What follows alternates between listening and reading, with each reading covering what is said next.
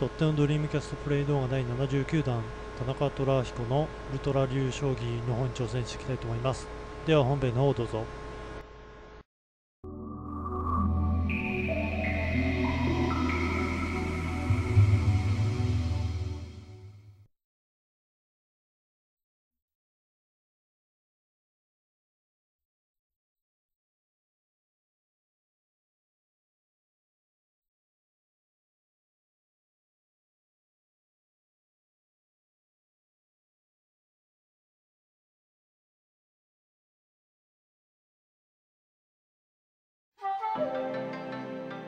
はいどうもお久しぶりです。とってです。ということで、えー、久々の実況動画したいと思います。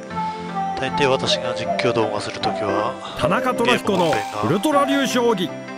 イビシャーナグマ編。いざ！ゲーム本編がちょっと説明した方がいいというかいささか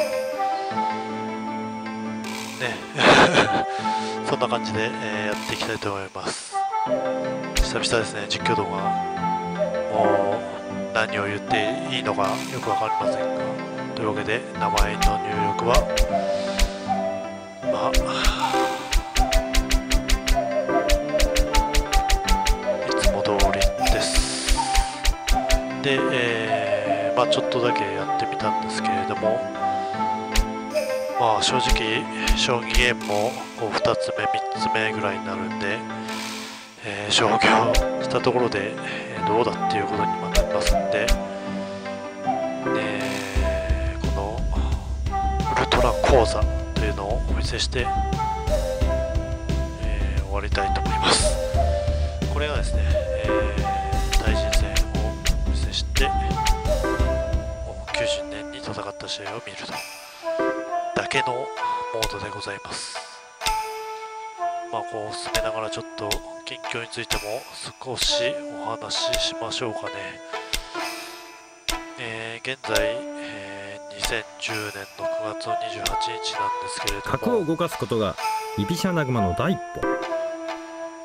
ちょっと2010年になってから相当その動画を上げるスピードというのが遅くなっておりますまあ待っておられる方が一人でもおられるかおられる限りおまどくとなって。やってはいきたいんですけれどもイビシャ。ン文字も飛ばしてしまいましたが。とまあ最終的には私の趣味の部分もありけりでやってはおりますがまあ本当はちゃっちゃと100段まで進めてはいきたいんですけれどもなかなか仕事の方も。2筋を攻める味を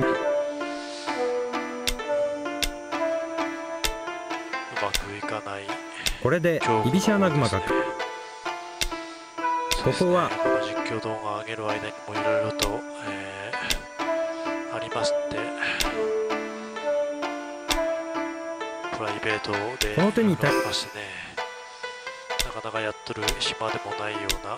状況もこのようにありましたが、6 6まあ、とりあえず進めてはいきたいと思います。でこの将棋なんですけれども、まあ、まあ、全部のモードをやったわけじゃないんで桂馬を取りませんがただ見るだけ。ただ見るだけといえば見るだけの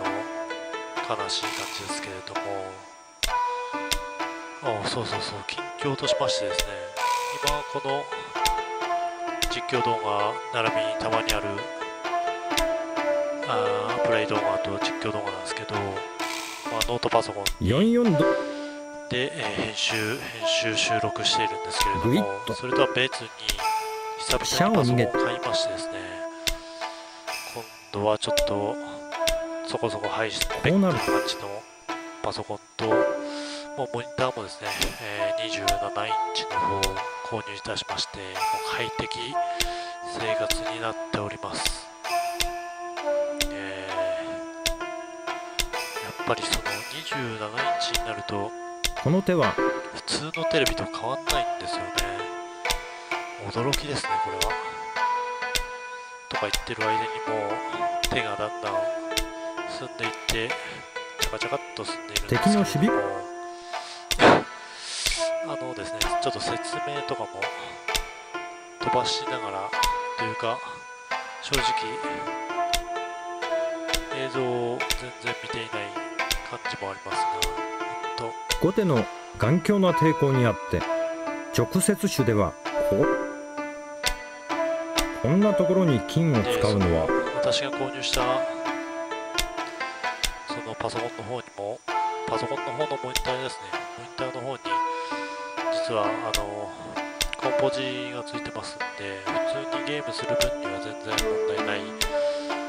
レベルとなっておりますね。このテレビがテレビモニターが、まあただそのちょっとドリームキャストを収録する環境がまだ整ってないものでまあできる限り今のノートパソコンで収録してノートが本当にダメになった時に考えようかなという感じですね。この手で受けに回っても行っていって。そんな近況ではあります。おっと気づけばもう大手になったそうです。はい。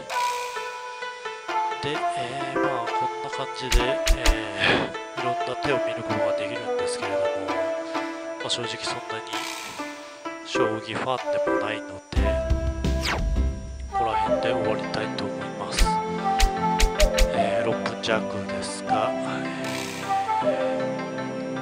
終わりたいと思います。あなんかこうあれですね。久々に実況すると自分で何を言っているのかよくわからないえー感じになっております。えーまあ次回えー多分実況動画するのは第100弾の時かその前に将棋のゲームが将棋とか囲碁とかのゲームがあれば、えーちょっと実況したいとは思います。はい。というわけで本当に何も喋ってないですね。ちょっと10分収録時間まだ7分ぐらいなのでもう少し近況について喋った方がいいですかね。と言ってもほとんど視聴される方もいらっしゃらないんではないかなとこの回に関しては思うんですよ。というわけで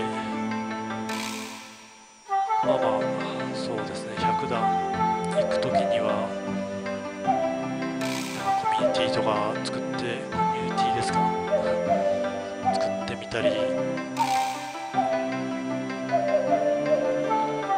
うですね。なんか歌ってみたとかやってみたいなとか思う感じなんですけれどね。なかなか実行に起こせないんで。まあまあ気長に、えー見ていただければいいかなと思ったりもします。はい。ということで、えーちょっとボロボロな感じのトークになってしまいましたのでこの辺で終わりたいと思います。えーっとここまでご視聴いただきありがとうございます。ありがとうございます。では失礼します。